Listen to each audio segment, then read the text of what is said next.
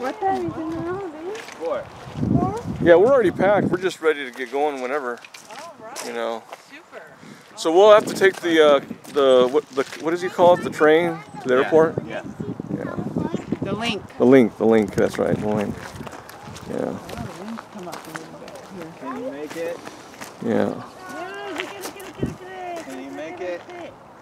Give me a rock. No, sliparito na bang Yeah. Because well, this is not as bad as the other hill. Mama, try. At least the Let water will save your landing, but you'll get Right. wet. Yeah. 'cause They, see, they don't they don't know from this stuff from experience that you got to learn. see. Let's see.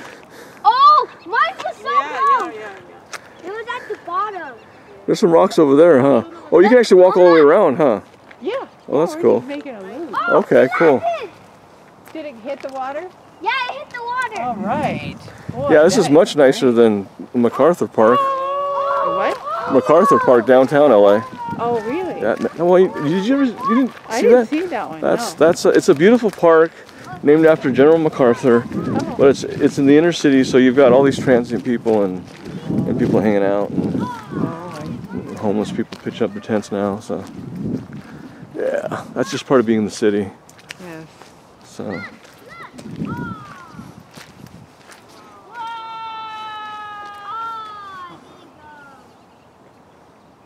Did you ever skip rocks? yeah, oh yeah, I did that a lot.